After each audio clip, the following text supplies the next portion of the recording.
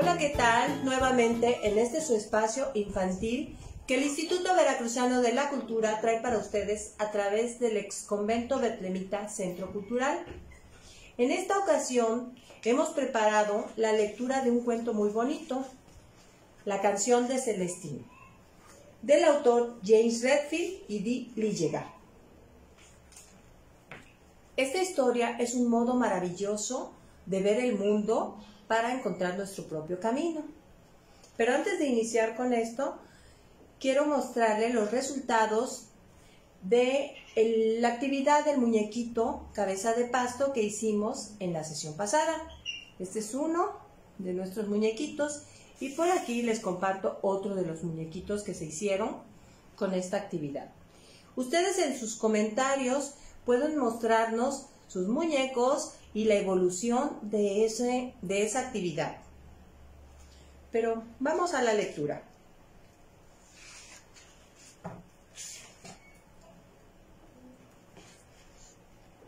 Había una vez un inquieto niño llamado Celestino, que estaba solo en el mundo y no se sentía amado. Un día fue al bosque y encontró un sendero. Quiso seguirlo, pero perdió el camino. Celestino se sentó y permaneció inmóvil, temblando de frío, solo y asustado. Desanimado, miró al suelo y vio un montoncito de hojas. El viento empezó a soplar y las hojas se arremolinaron a su alrededor. Parecía que cobraban vida y formaban la palabra atento. Celestino vio una hilera de hormigas desfilando junto a él y sintió crecer su curiosidad. La siguió con calma hasta su destino. Un elevado muro de piedra. Atento, Celestino, le advirtió una voz sin rostro. Celestino vio una puerta diminuta y pensó que tal vez nadie la había traspasado jamás. Sobre la puerta sin cerradura, en la piedra, aparecieron muy lentamente estas palabras, al pasado. Así decían, Celestino empujó la puerta cuando de pronto una ráfaga de aire lo arrastró con indomable fuerza al interior de un extraño mundo medieval. Celestino vio sucederse las guerras y las absurdas luchas de los hombres. Entonces comprendió la importancia que tiene el pasado para el presente. ¿Por qué? se preguntó. ¿Por qué y cómo? Ante sus ojos apareció una luz y un camino bordeado de rosas rojas, resplandecientes tras la lluvia del estío. Los pétalos formaron un nuevo mensaje, a las flores. Las corolas relucían a su alrededor y el niño se asombró ante tanta belleza. Celestino se sintió crecer y madurar, y lo más profundo de su ser resplandeció. Celestino se sentía colmado, colmado y rebosante de energía. Celestino se estremeció con el inmenso poder de la energía. Unas majestuosas nubes surcaron en el cielo y también formaron palabras a los rostros. Entonces, muy cerca de Celestino, apareció una sombra y de su interior surgió un imponente guerrero. El guerrero, con voz tenebrosa, reclamó para sí la energía de Celestino, pero el niño no deseaba perderla y se enfrentó al guerrero bajo la tenue luz del atardecer. Celestino, perdido el combate, cayó de rodillas bajo los robles, pero al alzar la mirada vio escrita entre las ramas la palabra ama.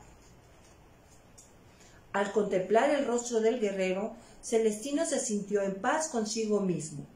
El amor venció al temor. El guerrero se desvaneció en el silencio. Varias mariposas rodearon a Celestino, revoloteando ante su atónita mirada. Desplegaron sus hermosas y brillantes alas para formar dos palabras, hacia casa. Celestino se volvió y vio un venado, Sígueme, le pareció oír. Aunque el niño continuaba perdido, ya no tenía miedo. Sígueme, y decidió partir. Celestino y el venado anduvieron hasta una colina. Miró hacia el valle y vio una luz. Mi casa, pensó, parecía una isla brillante entre la profunda oscuridad de la noche. Celestino descansaba en su lecho mientras apoyaba su fatigada cabeza. Vio una palabra bordada en la almohada. En las letras, muy bien bordadas, decía sueña. Celestino soñó que escuchaba el eco de un coro entonado y una melodía cada vez más poderosa. Un rayo resplandeció en el cielo y formó una palabra hecha de luz. Comparte. Celestino se despotó y saltó de la cama. Todos los mensajes que había encontrado en el camino pasaron por su cabeza. Atento, al presente y al pasado, a las flores y a los rostros. Por fin había llegado a casa. Y el coro entonó una melodía única.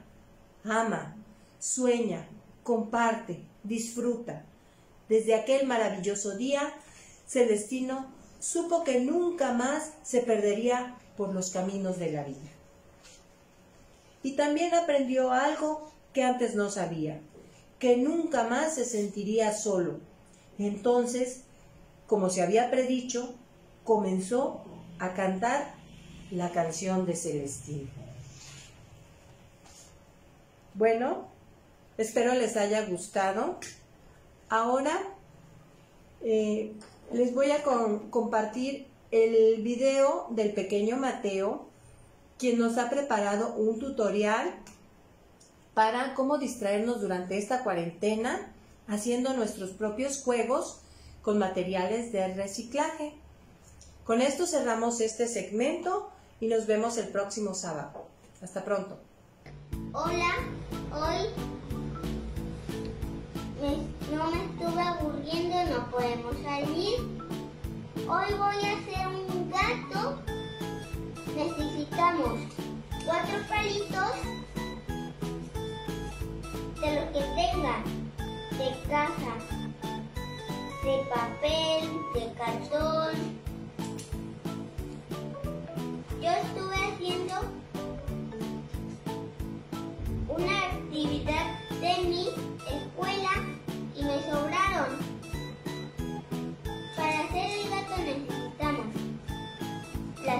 Un pegamento, pinturas acrílicas, que son los efectos, plumones para decorar los palitos, stickers, cuatro, ocho tapas de refresco de los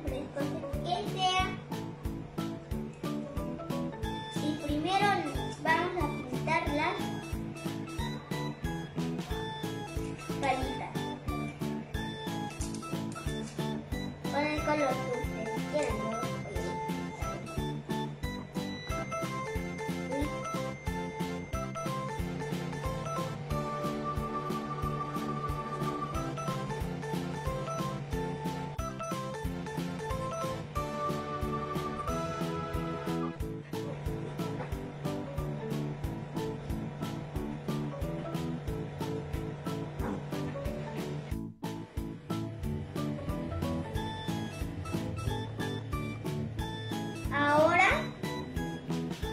se secaron mis palitos. Las estoy decorando. Las taparroscas se están secando. Otra vez.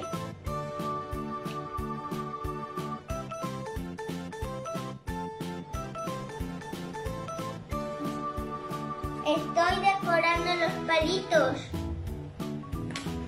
Yo ya pinté dos. Uno con rayitas y puntitos y otro con puntitos.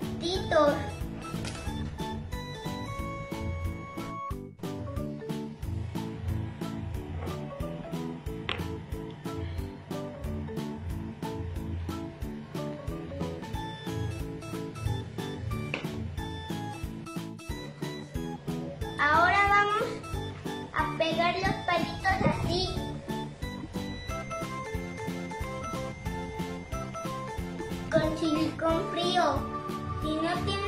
silicón frío, con silicón caliente.